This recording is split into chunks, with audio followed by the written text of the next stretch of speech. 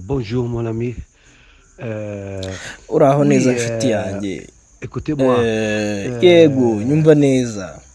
ikipe ya rayon siporo n'abafana bayo bafatanyije kwegukana ibikombe bitatu ikipe nziza twari dufite. On ikipe nziza ikomeye. byaranshimishije cyane a une équipe très mu buzima bwanjye Eh, sinzigera nibagirwa abafana ba rayon siporo Jamais je ikipe oublier euh, le supporter de Rayon. j'ai déjà travaillé trois années et demie. Je ne peux pas. Va rester dans mon corps pour l'éternité. Parce que la même chose avec le, le Vipers, une eh, équipe qui je travaille. ni kimwe na Vipers.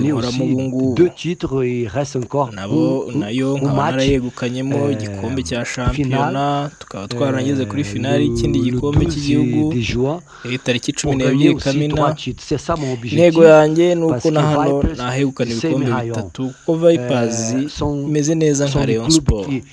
qui, qui, qui m'a donné la chance qui, qu'ils ont donné Eh, la ni confiance. amakipe yampaye amahirwe yampaye icyizere que yakoze byose kugira ngo nyazemo.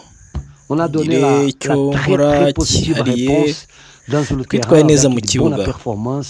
twitwara neza dutanga abakinnyi benshi mu ikipe y'igihugu même chose muri uganda. Passait ici. na byo byabaye muri rayon du sport. Vipers. Sport Club. Ari J'ai na byo biri kuba muri mfitanye supporter, umubano mwiza na perezida euh, abafana euh, eh, nabo barankunda cyane. abafana ba vipers na rayon supporter bazaguma iteka mu mutima wanjye pour toute l'éternité dans notre corps. Parce que c'est ça que je peux dire.